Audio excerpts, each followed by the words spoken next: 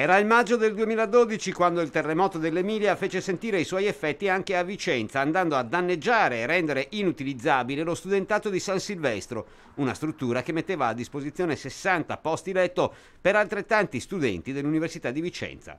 Da allora a oggi quello spazio è rimasto chiuso e l'abbandono progressivo ha aggravato lo stato della struttura, tanto che i 400.000 euro stimati dall'ESU per rimetterlo in funzione probabilmente non bastano più.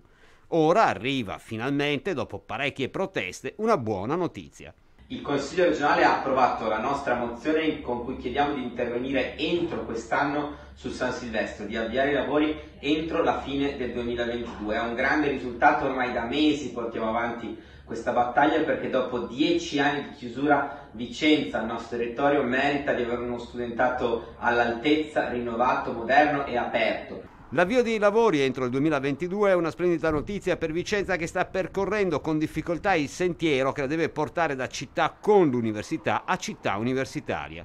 Al di là dei posti letto, la volontà di intervenire su San Silvestro va letta anche come volontà di investire sull'università come priorità e in questa ottica va letto anche un secondo impegno contenuto nella mozione. Una città che vuole dichiararsi universitaria, che vuole crescere e puntare sull'università e non semplicemente ad ospitare strutture universitarie ha bisogno di uno spazio in cui accogliere gli studenti, in cui farli diventare cittadini a tutti gli effetti.